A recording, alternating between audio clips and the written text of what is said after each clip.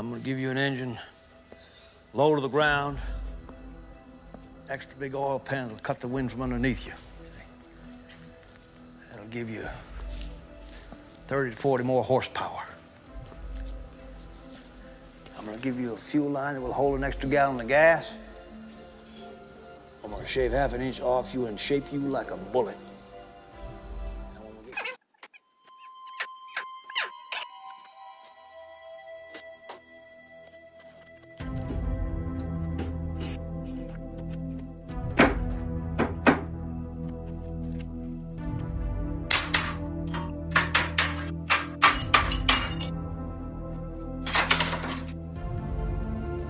Just flip them around and uh,